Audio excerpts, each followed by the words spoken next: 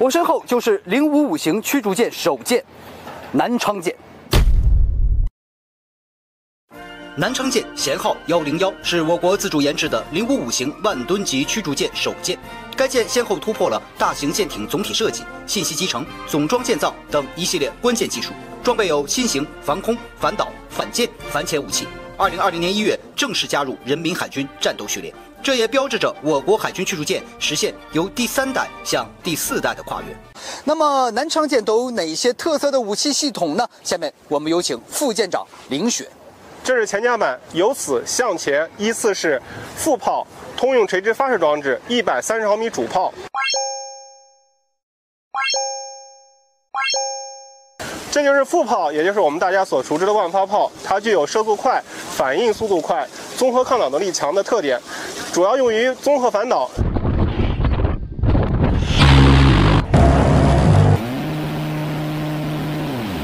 这是通用垂直发射装置，全舰一共装备了一百一十二个单元，这是六十四个单元，在我们舰艇中部还有四十八个单元。它主要用于装载、存储各型导弹，具有通用性强、载弹量大、隐身性好以及冷热发射兼容的特点。这就是我舰装备的主炮，它是目前我国海军装备最大口径的火炮，它的口径达到一百三十毫米口径，主要用于对海、对岸的火力打击任务。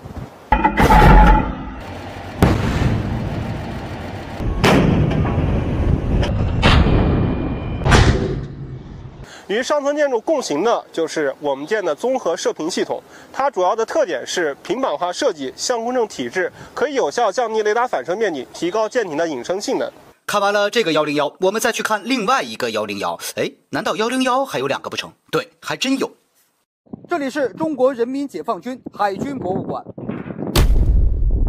鞍山舰舷号幺零幺是我国海军第一艘驱逐舰，原产苏联。一九四一年入役苏联太平洋舰队，在二战中功勋卓著。一九五四年，作为中国向苏联订购的四艘驱逐舰首舰抵达青岛，命名为鞍山舰。一九九二年退役后，驻泊海军博物馆，成为国家一级文物。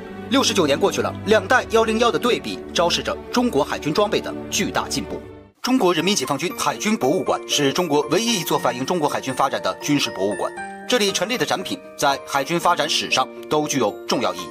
长征一号核潜艇舷号四零幺，一九七零年下水，一九七四年入列。它的建造服役标志着中国成为世界上第五个拥有核潜艇的国家。要说操纵潜艇发射鱼雷，哎，这些我们肯定不行。但是在潜艇里睡个觉总行吧？啊，这床呢？床在那上面，我们爬上去。那么怎么才能爬上去呢？啊，当然是按 shift 了。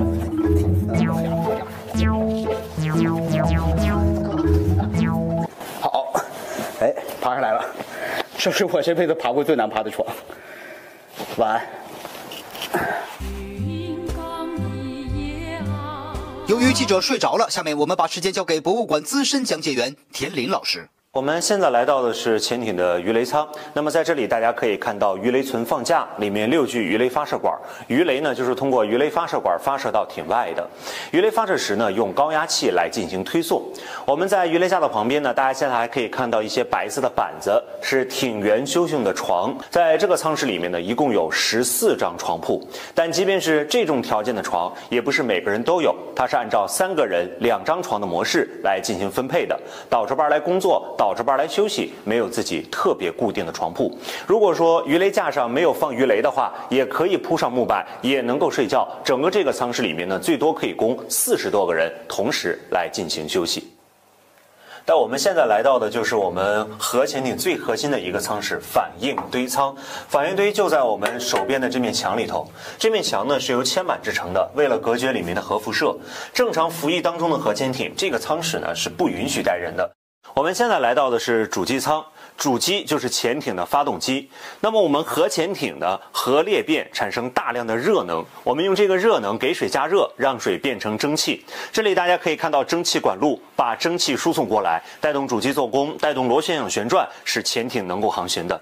我们现在看到的这台设备呢，叫做主机操纵台，它是用于改变供气大小和供气方向的一个装置。在这里呢，大家可以看到两个能够转动的手轮，大轮呢叫做正车手轮，前进的。的时候来使用的小轮呢，叫倒车手轮，后退的时候来使用的。那么它相当于潜艇的油门、刹车和档位。刚才说了，鞍山舰虽然是我国海军第一艘驱逐舰，但并非国产。那么，我国自主研发的第一艘导弹驱逐舰是哪一位呢？就是这位济南舰。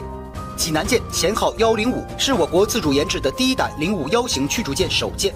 一九六八年开工，一九七一年入列。服役期间多次完成重大战略训练和实验任务。一九八三年，中央军委为其荣记集体一等功。我们现在来到的是济南舰的直升机起降平台和机库。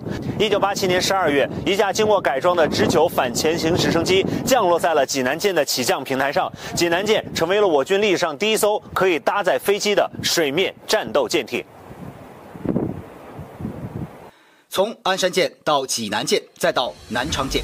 七十多年来，人民海军从无到有，由弱变强。万里海疆见证着英勇的水兵们从近海走向远海，从蔚蓝走向深蓝。二零二三年四月二十三日是人民海军七十四周岁的生日，让我们祝他生日快乐。